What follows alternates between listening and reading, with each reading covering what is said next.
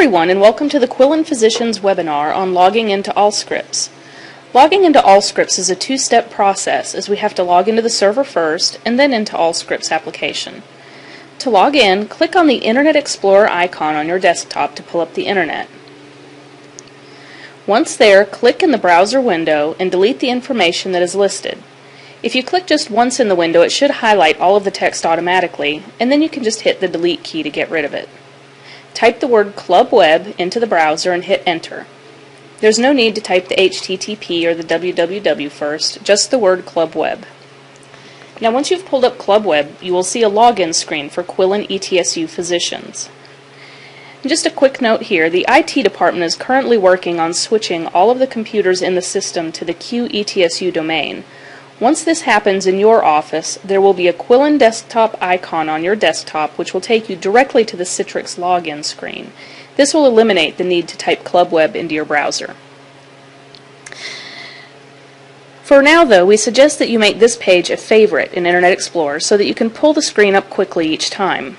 To do this, simply click on the Favorites link on the left-hand side of the screen and then click Add to Favorites button here. You can rename the link if you like, and then just click Add. So once this is done, go ahead and type in your username and password for Citrix. Please note that the ID and passwords are case sensitive, so make sure your caps lock is off before entering these items. Once you've entered your ID and password, hit the Enter key. You will be taken to the screen with the Quillen desktop icon. Click just one time on this icon. Please note that clicking twice on this may open up multiple sessions, which could slow your system down. So try and get in the habit of just clicking once on this icon. Here you'll be taken to a screen that has two Allscripts icons on it. One is for the live environment and one is for the test environment. This will change once we go live, but for right now we want you to click on the Test Allscripts EHR icon, which is the last one on the screen and this will pull up your Allscripts login and password screen.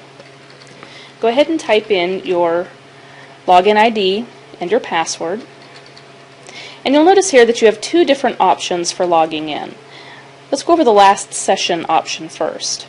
Clicking on last session will pull in the information that was on the screen the last time someone logged into that specific computer. The last session button is not tied to your particular username, but rather it's tied to the workstation. So, for example, if you're working on a patient and you've logged off and the doctor comes into the room and logs onto the same computer, they could click on the last session button and be pulled right back into that patient's chart where you left off. This will be handy for those of you who have workflows where you and the physician are sharing the same computer. Now, if you want to open a new session, you can either click the New Session button here or just hit Enter.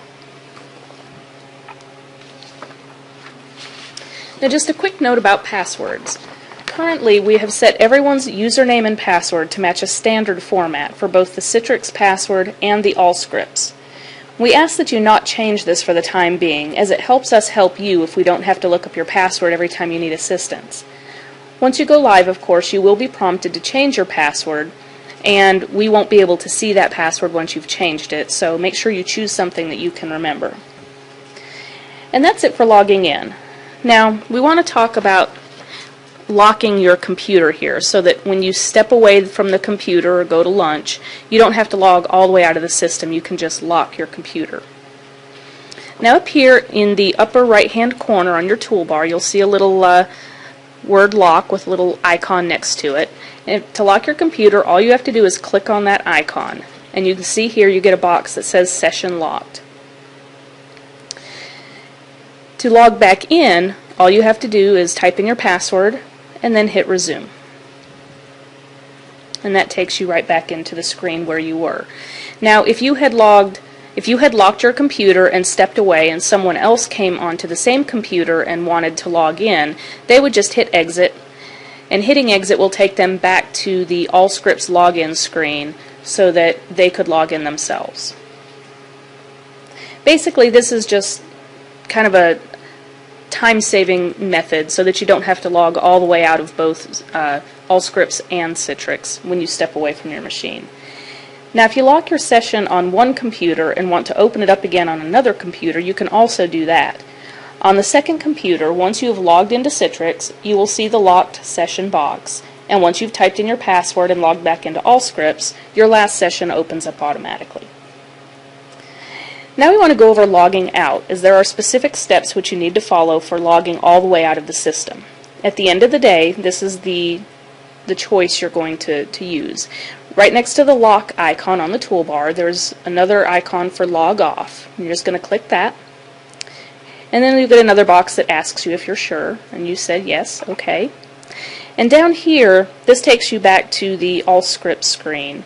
And in the bottom left-hand corner, you'll see a golf club themed thing here on the start menu and you're just going to click on that and then click log off. And again it asks you if you're sure. You say log off. And essentially what you've done here is you've logged out of Allscripts and Citrix and this takes you all the way out of the system. And like we said that's the option that you'll want to use at the end of the day when you when you leave and you're shutting down and that's pretty much it for logging in and logging out. And if you have any questions or comments, please feel free to contact us. Thanks so much.